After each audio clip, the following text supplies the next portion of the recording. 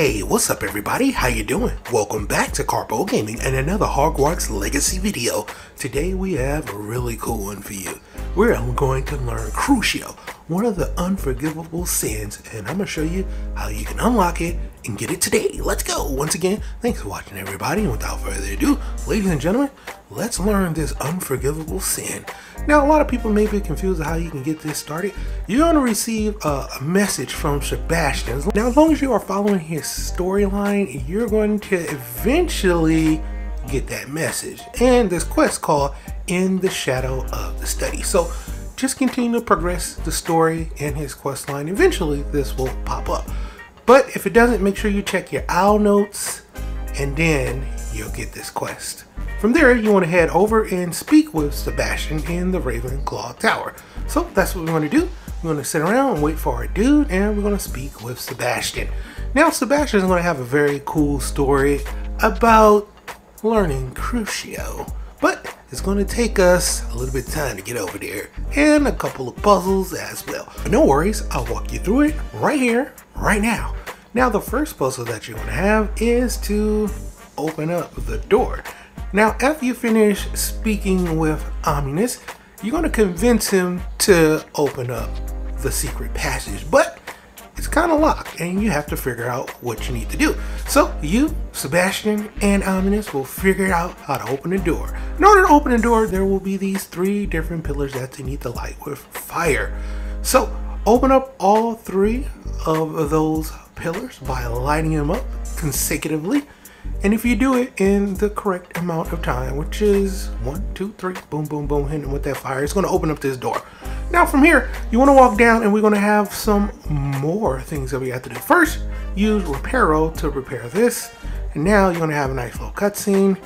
Open up the door and there's going to be some more puzzles. Now, use Revelio. You're going to highlight a couple of things. One is going to be some torches that we're just going to use so we can see these symbols that we have under this snake statue. We need to line up these symbols to match the door in order to open it up. So right here we have a little circle with little lines of circles around here, kind of look like a moon. So we're gonna go ahead and do that and match that up with the bottom symbol, which was like a snake and an infinity symbol. And voila, just like that, you open up the door. Now we need to repeat this process a few more times in order to complete this quest and to learn Crucio. So use Revelio, it'll show you the doors, right? And if you use Revelio, or if you use Lumos, you can see the symbols. That one right there is going to be like kind of like a bull crossed out and what I would say looks like a slanted A and a slash on top. I know, they look kind of weird, but you know, you get the gist of how things are going to work. We need to line up the symbols on the door with the snake statue. You just have to find a snake statue. For this one, it's right here. Pretty simple, easy to do, not too much running around and trying to figure it out. But the next one can be a little confusing, but hey, that's what these videos are for. Use your light and light up that door with Revelio. You're gonna have a nice, what I like to call a cherry. Turn sideways. Head over here to the next Slytherin rock. I'm gonna use that cherry turned sideways into three triple triangles together to open up the door. Bam! Just like that, we're inside. Now, once you're inside, make your way into here.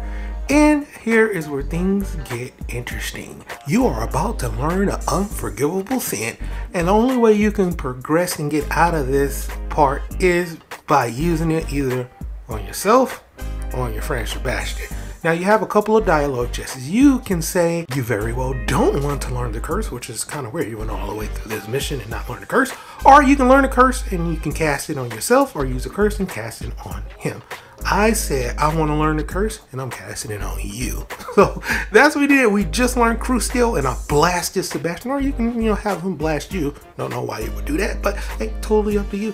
Now, the Crucio curse will shoot out that red electricity and open up the door. And just like that, you pretty much are done. Explore, get your loot, and you are done with this part of the quest, and you're done with this unforgivable sin called Crucio. Now, there are many more that we're going to get, and as soon as I'll get those unlocked, I'll upload that video show you exactly what you need to do. But for right now, that's pretty much going for the video. I hope you truly enjoyed it. As always, if you are new to the channel, how you doing and welcome. Don't forget to subscribe. Right here at Carpool Gamer, upload a wide variety of videos range from updates, tips and tricks, guides and news, and a whole lot more. So hopefully enjoyed this video. Once again, thank you everybody for all your love and support. And As always, I'll be seeing y'all in the next one. Later.